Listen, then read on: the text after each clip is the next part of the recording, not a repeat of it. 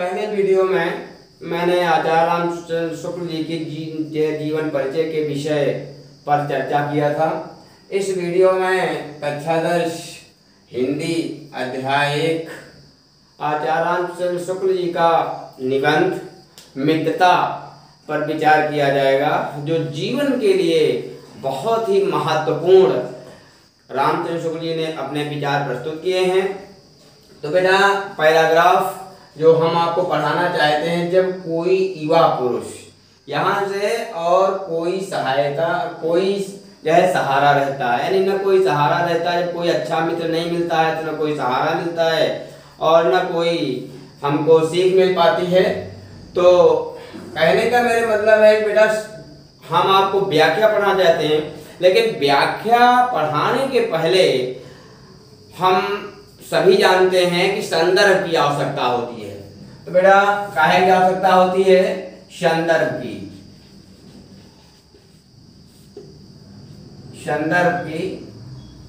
तो बेटा, देखिए, संदर्भ दो प्रकार के होते हैं। एक बुक में शार्ट में लिखा होता है, जैसे प्रस्तुत गद्यखंड, हमारी पाठ्य पुस्तक हिंदी के मित्रता नामक पाठ से लिया गया है। इसके लेखक आचार्य रामचंद्र शुक्ल जी हैं। तो ऐसा रहता है। तो थोड़ा रोचकता प्रदान करें। लेकिन जो हमारा संदर्भ होता है, संदर्भ जितना ही ज़्यादा रोचक होगा, उतना ही ज़्यादा जो है व्याख्या पर अट्रैक्शन बढ़ता है। यानी जो एग्जामिनर होता है, वो उतने ज़्यादा अट्रैक्ट होता है। तो जो हम थोड़ा रोचकतापूर्ण आपको बताने की कोशिश करेंगे संदर्भ, प्रस्तुत रश्मियाँ हमारी पाठ्य पुस्तक हिंदी के मित्रता नामक निबंध से संकलित की गई हैं। इसके निबंध, इस इस निबंध के निबंधकार आलोचना सम्राट आचार्य रामचंद्र शुक्ल जी हैं। तो यदि हम ऐसे लिखते हैं तो थोड़ा रोचकता बढ़ जाती है। फिर बेटा आता अगला आता है आपका प्रसंग। प्रसंग आता है। तो प्रसंग में क्या है बेटा? इन पंक्तियों में आचार्य रामचंद्र शुक्ल जी ने मित्र बनाने की जो है सतर्कता पर, यानी हम अपने मित्र का चुनाव करते समय किन किन यानी बिंदुओं पर होशियार रहें या जो है, सतर्क रहें। इसके विषय में उन्होंने बात की है।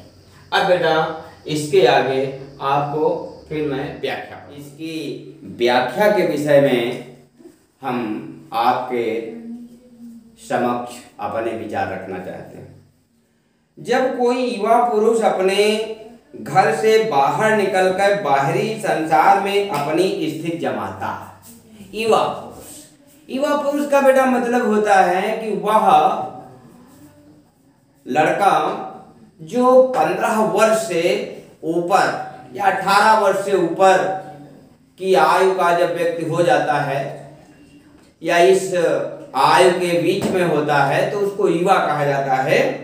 तो वो जब बाहरी संसार में बाहरी का मतलब जब वो अपने दोस्त वगैरह बनाने की कोशिश करता है तब पहली कठिनता उसे मित्र चुनने में पड़ती है। पहली यानी जो है कसौटी है, यानी कठिनता है कि वो मित्र कैसा बनाए। उसको मित्र बनाने वाली बहुत बड़ी यानी जो है कठिनाई, एक बहुत बड़ी समस्या उसके सामने आती है। यदि उसकी स्थिति बिल्कुल एकांत और निराली नहीं रहती तो उसकी जान पहचान के लोग धड़ाधड़ बढ़ते जाते कहने का मतलब ये है कि जब यदि उसकी जो स्थित है उस व्यक्ति की, यदि एकांत वासी वो नहीं है, यानी वो अपने में ही मस्त नहीं रहता है तो जान पहचान के लोग अकस्मात बढ़ते जाते हैं। लेकिन बेटा, जान पहचान बढ़ाना अलग बात है और एक मित्र बनाना अलग बात है। क्योंकि मित्र का जीवन में बहुत बड़ा महत्व होता है। इसलिए मित्र बनाना बड़ा कठिन होता है और थोड़े ही दिनों में कुछ लोगों से उसका हेल मेल हो जाता है। यदि वो एकांतवासी नहीं है।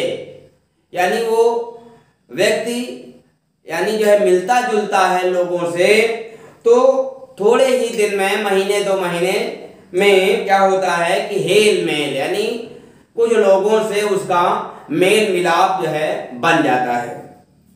यदि यही हेलमेल बढ़ते बढ़ते मित्रता के रूप में परिणित हो जाता है, कह रहे हैं कि फिर यही जो हेल मेल होता है, आपसी बातचीत होती है, आपसी थोड़े बहुत विचार जो होते हैं, इन्हीं से धीरे धीरे बता रहे हैं कि यही जो हेल मेल होता है, ये जो है मित्रता में क्या होता है, यानी जो है बदलने लगता है।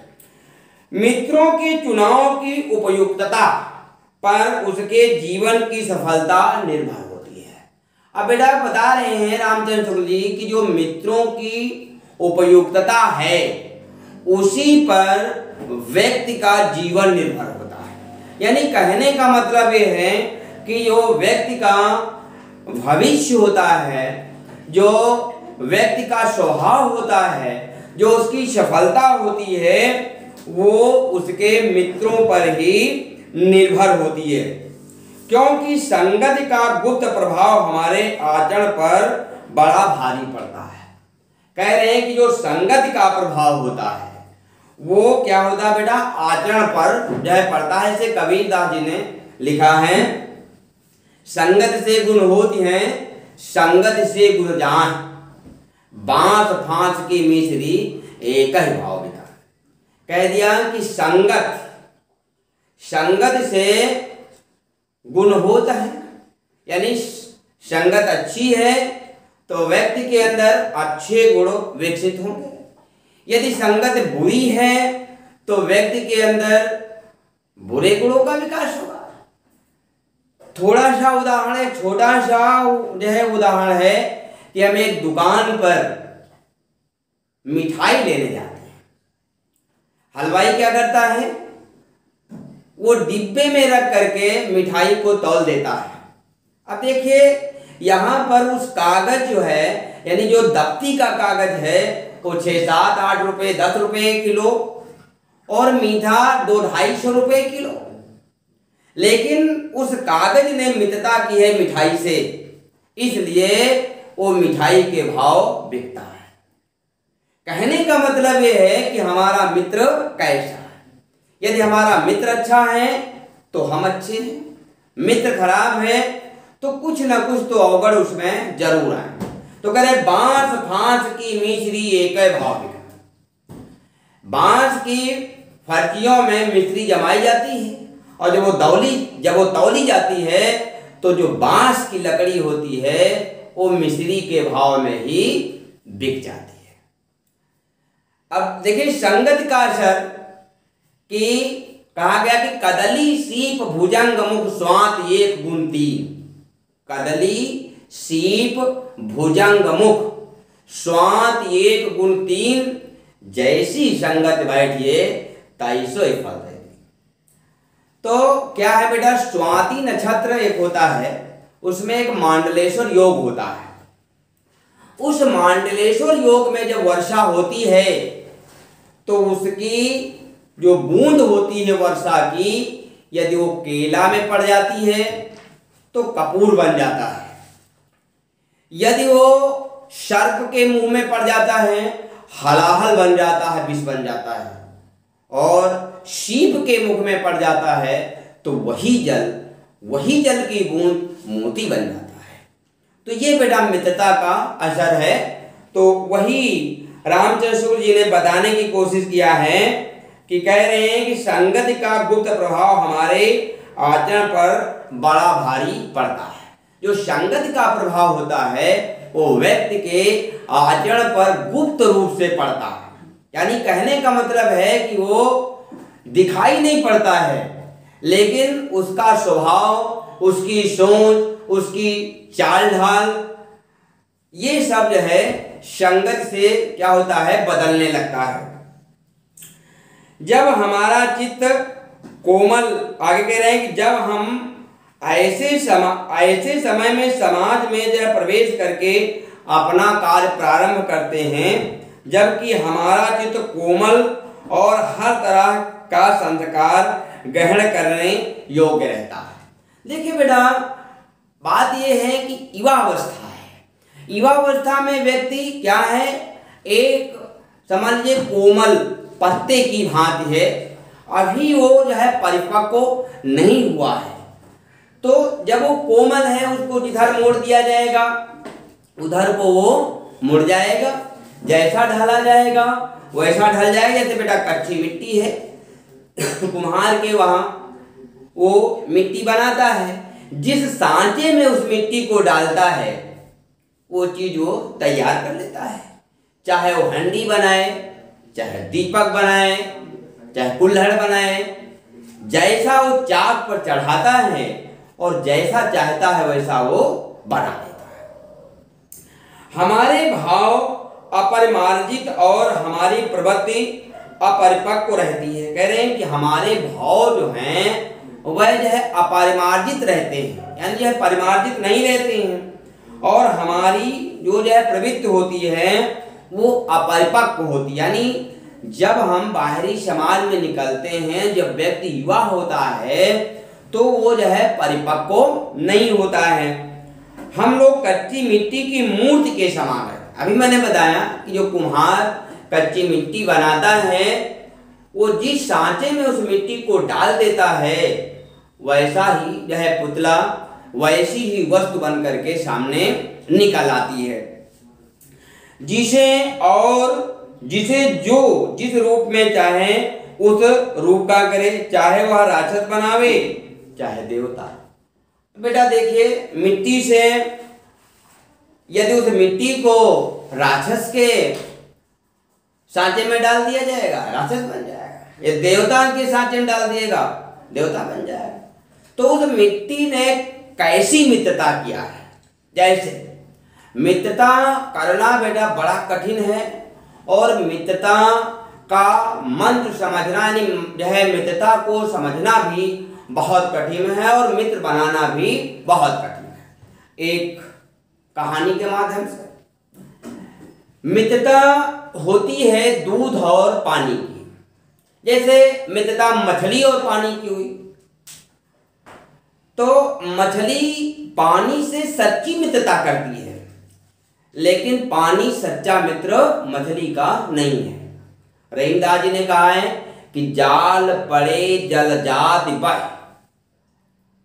जब तालाब में जाल पड़ता है तो पानी बह जाता है। जाल पड़े, जल जात बह। तज मनीन को मोह। मनीन मीन्स होता बेटा मछली। मछली के मोह को, प्रेम को छोड़ करके पानी बह जाता है। लेकिन मछली पानी से वास्तविक प्रेम करती है। रहीमदारी कहते रहीमन मछली नीर को। फिर भी मछली पानी को ताऊ न छोड़ छो यानी पानी धोखा देता है। लेकिन मछली जो है, पानी से सच्चा प्रेम करती है, जबकि पानी धोखा दे देता तो यदि मित्रता की जाए तो सच्ची मित्रता होनी चाहिए। मित्र ऐसा हो जो सुख, दुख में बराबर साथ दे, जैसे पानी और दूध की मित्रता। भाई, दूधिया दूध लिए केन में जा रहा पानी ने दूर से कहा, दूध, हमको मित्र बना दूध ने कहा कि, मित्र तो बना लेंगे कीमत तो तुम्हारी बढ़ जाएगी, लेकिन समस्या आ जाएगी। पानी ने कहा, कोई बात नहीं। है ना? हम प्रेम करेंगे तो जब हम मर जाएँगे, तब आपके ऊपर हम असर आने देंगे। तो भाई, पानी ने से दूध ने कहा, स्वागत है, आ जाइए। दूधिया ने उठा करके केन में पानी को डाल दिया। अब पानी बहुत खुश है कि हम दूध बन गए। हमारी उपयोगिता, हमारी इज़्ज़त, स्वाभिमान, दूध जैसा हो गया। दूध और पानी केन में भर करके पहुँच गए कहा? हलवाई की दुकान पर। हलवाई ने कहा, इसमें पानी है। दूधिया ने कहा, पानी है तो कढ़ाई पर चढ़ा करके देख लो। आज जब हलवाई ने भट्टी पर चढ़ाया दूध और पानी दोनों मित्रों को दूध ने कहा, पानी से मित्र संकट में फंस गए। पानी ने कहा, कोई बात नहीं है, हमने मित्रता की है। पहले मैं अपने प्राण दूँगा, उसके बाद आपके ऊपर आ जाने। तो समस्या क्या आती है कि दोनों पानी जलने लगता है। पानी जब जल जाता है, तब दूध अपना मित्र खोजने लगता। है दूध अपना मित्र खोजने लगता है तो वो उबाल मारने लगता है। तो हलवाई कहता, नहीं, अभी है। तो पानी का छीटा मार देता। है दूध शांत हो जाता। ये यानी यही क्रम करते करते दूध और पानी दोनों समाप्त हो जाते हैं। और जब दोनों मित्र खो जाते हैं तो दोनों का नाम बदल करके एक तीसरा नाम आता है, जिसको कहा जाता खोया। तो ये बेटा मित्रता है, सच्ची मित्रता। इसको कहते हैं कि मित्र ऐसा होना चाहिए, पानी और दूध जैसा। ऐसे लोगों का साथ करना हमारे लिए बुरा है। कैसे लोगों का भैया? जो हमसे अधिक दृढ़ संकल्प के हैं। यानी दृढ़ संकल्प का होना ज़रूरी है। लेकिन वह हमसे ज़्यादा दृढ़ संकल्प के ना कि हर बात उनकी हमें मानना पड़े। चाहे अच्छी हो, चाहे क्योंकि हमें उनकी हर बात बिना विरोध के मान लेनी पड़ती है। तो कहने का मतलब है, रामचंद्र शुक्ल जी कह रहे हैं कि मित्र दृढ़ संकल्पी ज़्यादा नहीं होनी चाहिए तो नहीं होना चाहिए। क्यों? क्यों नहीं होना चाहिए? क्योंकि उसकी हर बात हमको बिना विरोध किए हुए माननी पड़ेगी और चाहे बात अच्छी हो, चाहे बुरी हो। इसलिए बहुत दृढ़ संकल्पी भी मित्र की आवश्यकता नहीं है। आगे कह रहे हैं कि, पर ऐसे लोगों का साथ करना और बुरा है जो हमारी ही बात को ऊपर रखते हैं यानी चापलूस मित्र।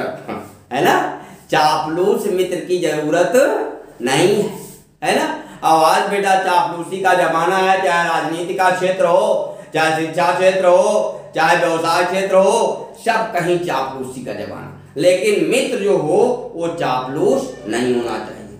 चापलूस मित्र से यदि कोई नुकसान नहीं होगा तो कोई लाभ भी नहीं होगा। ठीक बेटा? इसके आगे हम आपको अगले वीडियो में सेवा करने के लिए फिर उपस्थित हो